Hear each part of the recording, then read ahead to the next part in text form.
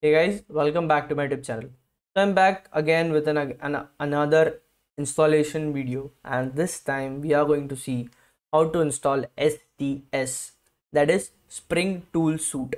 So it is a dedicated IDE that is based on Eclipse. It looks exactly like Eclipse. If you used Eclipse when we when we you know install STS and when you see the interface, you'll make out that it looks exactly like Eclipse because it's built on that right? And it is dedicated completely for spring boot applications spring spring boot applications. So you can you know easily code into spring and spring boot applications by using spring tool suite. You can also use eclipse ide you can use intellij idea you can use all that stuff but this is dedicated completely for spring boot. So you know you can just use it. So before installing sts there is one requirement as is there with eclipse and intellij idea you need to have Java installed on your system, right? So let's check again how uh, you can check if Java is installed on your system or not. Just go to search and search for CMD, that is command prompt, and type this small command that is there which says Java dash version. And if you get a comma, if you get something that says Java version 1.8 or the version might be different, but if you get something like this, it means that Java is Java JDK is present on your system I have Java 1.8 installed on my system because it is one of the most stable ones. The latest version for Java is Java 17 and 19. You can install them. Uh, it's not a problem. But if you get a command that says Java is not recognized as an internal or external command, which means that Java is not installed on your system. So you can click on the I button or visit the link in the description on how to install Java JDK on your system Windows 10 or 11 there's the same procedure so you can go ahead watch that video install Java on your system and come back to this video and we'll get started on how to install STS. So I've come back here to my browser and here I'll just search for Spring Tool Suite. This is what I'll search for and here this is the first option that I'm getting Tools Spring. So I'll click on this. Once you click on this you can see the complete website for Spring Tool Suite. The latest version is 4 at the time I created in this video the latest version is 4 it might be different for you but the installation is same nonetheless. Alright so if you just scroll down a bit you can see this logo. This is the Eclipse logo right? And here also it says Spring Tool Suite 4 for Eclipse right? So here you can see Linux Linux Mac Mac and here this our beloved Windows. Just click on Windows.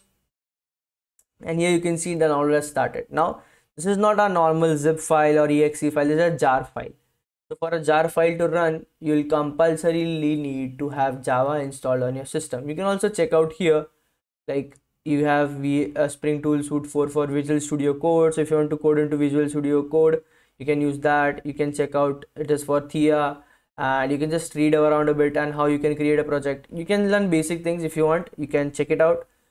But I've downloaded it already to save us some time. So let's go into the download folder now this is the jar file. So what you have to do is just double click on it and it will start self extracting itself. Right? This will only happen if you have java installed. So you can see in the corner over here that it has started extracting itself and you can see that this is the folder that it is creating while extracting. We'll just wait for the extract extraction to complete and then we'll go forward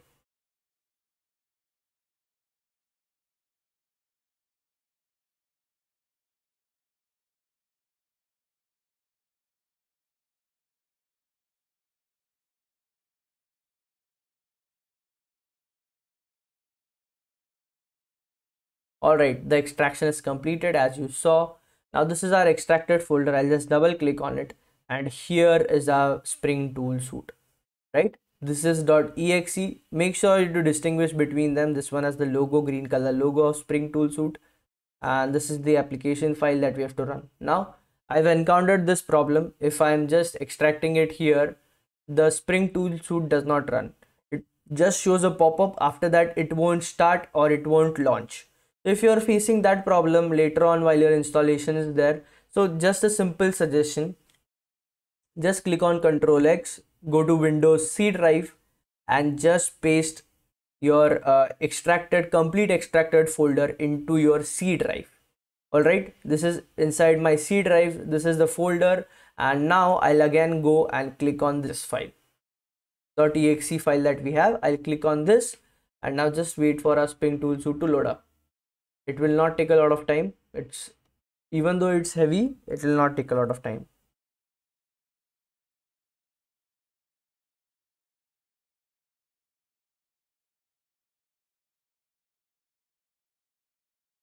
All right as you saw it did not take a lot of time. Even if it takes a little bit of time that's not a problem.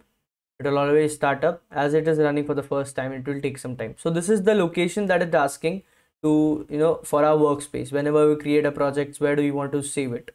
So i'll just use this. This is the default that it uses. So i don't if you want to change it you can just click on browse and change it but i'll just leave it to default. And i'll take this option because i don't want the pop-up again and again to ask me whether my workspace is. I'll just click on launch. Now you can see that it is starting our spring tool suite. Now again the same thing that we did with eclipse uh, if you watched my eclipse video you can see that this is our eclipse ditto. This is what our eclipse user interface also look like. Now again if you have a question that do i have to come back to the c drive and the this folder to run this file? You know every time i want to use spring the tool suite do i have to come and do it here? So no the simple suggestion is you see spring uh, tool suite is currently present in your taskbar just right click on it and use the option pin to taskbar. Next time you want to use spring tool suite just click on the icon in the taskbar and the spring tool suite will start running. You don't have to go to the folder again and again and create our uh, sorry start our application. So here just for the sake of it uh, we'll see if our spring is you know getting any project. So i'll just create a java project. There's an option over here. You can see create a java project. Again i'll write first spring project and here select the java version that you have installed on your pc so i have java 1.8 so i'll select 1.8 if you have different version select the version that you have. All right. So now i'll click on next.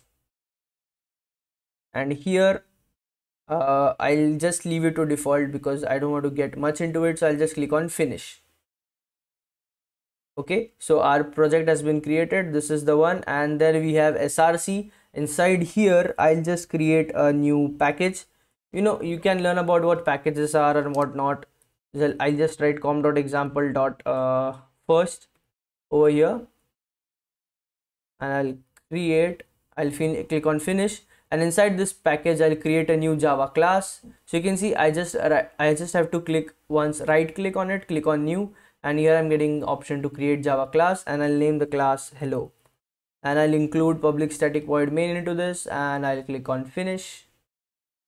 And this is our first class that we've created right? Hello class. And inside this I'll write the infamous or the most famous uh, thing that programmers do while testing out anything that is system dot out dot println i'll just write. You can see that you get helpful suggestions when we try uh, when we try to code so this is the power of ide right it saves us a lot of time so now i've i'll just save this and now this is spring tool suite right so i'll just click here and i can run it as a java application because right now I am just creating a Java application. If I want to create a Spring Boot application, that's a different thing. All right, I'll just try to see if it is working or not. And here you can see at the bottom of my screen, I'm getting hello world. Right, this is the one that I'm, this is the result that I'm getting in console. Okay, so yeah, it basically means that our Eclipse ID, sorry, Spring Tool Suite has been successfully installed and it is not showing any errors. This is the reason I always when I install an IDE I run it and see if there is any error. So that's it for this video. Make sure you guys like my videos because 98% of you guys just watch the videos and you don't subscribe you don't like. Guys please like the video. It motivates me to keep making more amazing videos and helping you guys out if you have any doubts mention in the comment section. I'll make sure that i'll connect with you and we can solve your problem. That's it. I'll see you in the next video